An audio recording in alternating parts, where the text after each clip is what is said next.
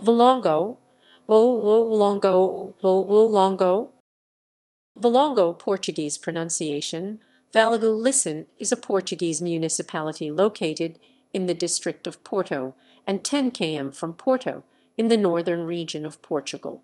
The municipality area consists of 75.12 km2 and 93,858 inhabitants 2011 and is subdivided into four parishes. The municipality is limited to the north by the municipality of Santo Tirso, to the northeast by Paços de Ferreira, to the east by Paredes, to the southwest by Gondomar, and to the west by Maia. It consists of the cities of Alfena, Ermesinde, Valongo city and the towns of Campo and Sobrado. History The municipality of Valongo was created in 1836 as a part of the administrative reform of the country, which occurred during in the reign of D. Maria Roman II. However, human occupation of this region predates the Roman conquest of the Iberian Peninsula. Ancient history This region was occupied by the Romans, especially for gold mining in the Serra de Santa Justa.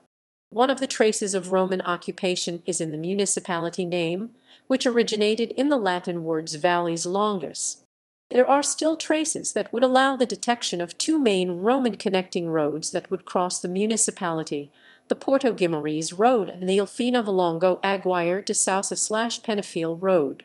This region would then be occupied by barbarian peoples, Suebi and Visigoths, and later by Arabs and Moors. According to Father Lopes dos Reis, a native of Valongo, the Moors entered Hispania enthusiastic about the holy war with the Alfenge in one hand and Alcorau in the other, taking over with their powerful army all the places they could pass through. In Valongo, perhaps there was no blood at all, because the inhabitants, few and without defence, could only fearlessly try. Middle Ages From the general inquiries of 1258 the current municipality was divided at the time between the parish of Aguiar de Sousa, which included S. Martinho de Campo and Sobrado, and the parish of Maia, which included S. Vicente da Queimadela, Valongo, and S. Lourenço de Asmes. From the economic and social point of view at this time, the ownership of land was the basis of the economy and the main element of survival and power. In the area of the municipality, land belonged to the king and the clergy, particularly the regular clergy. The appearance of new settlements, the progressive extension of the term of existing settlements, the multiplication of suffragan chapels, and the division of property is evidence of the notorious demographic growth of this region over the centuries. This increase in population was accompanied by the progressive development of other sectors of the economy. Industry and commerce initially based on incipient forms, acquire a strong expression in the economy. The traditional bakery industry is an excellent example of this. Its origins date back to the low Middle Ages, but the development of wheat bread is such a development which allowed Valongo bakers to feed the entire surrounding region and with the product of their work. This in turn allows them to make a decisive contribution. For the construction of the new church, the Igreja Matriz de Valongo, whose construction dates to the end of the 18th century. 19th century. At the dawn of the 19th century, Valongo experiences the hardship of the presence of Napoleon's troops during the French invasions. A division settled in Valongo, turning the church into a stable and plundering values from individuals and the church. These lands, therefore, served as a stage for battles and military movements that took place between the two straying brothers, D. Pedro on the side of the liberals, D. Miel on the part of the Miguelists/absolutists. During this period two important battles take place, the Battle of Ponte Ferreira and the Battle of the Ant. In Ermesinde, the former convent of Na.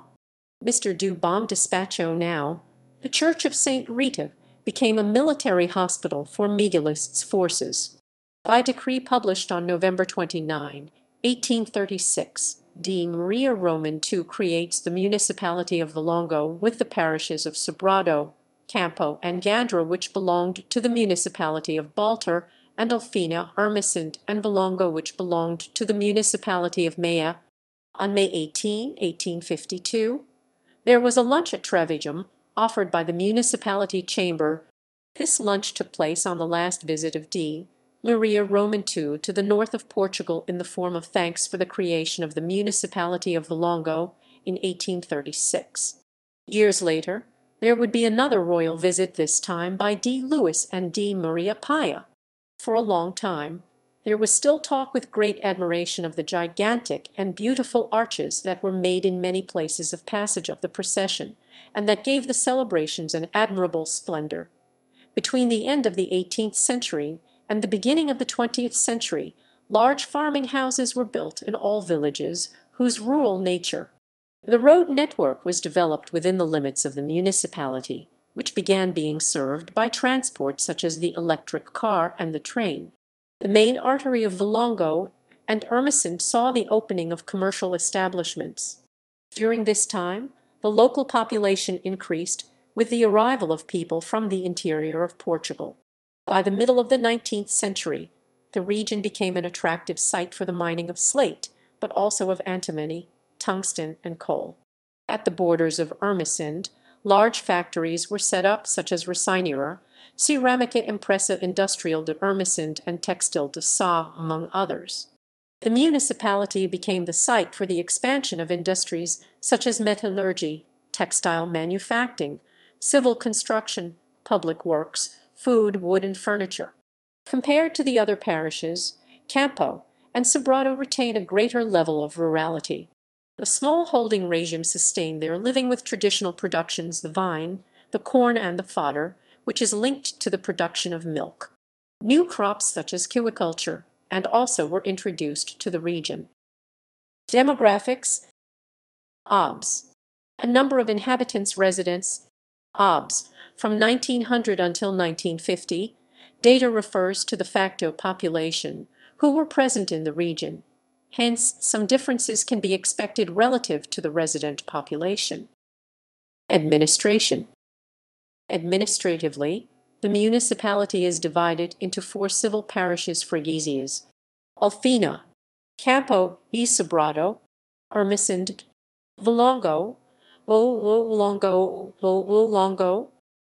Culture Religious patrimony The municipality has a vast religious patrimony which includes the mother churches, chapels, shrines, calvaries, and cruises, often associated with religious festivities and local folk stories.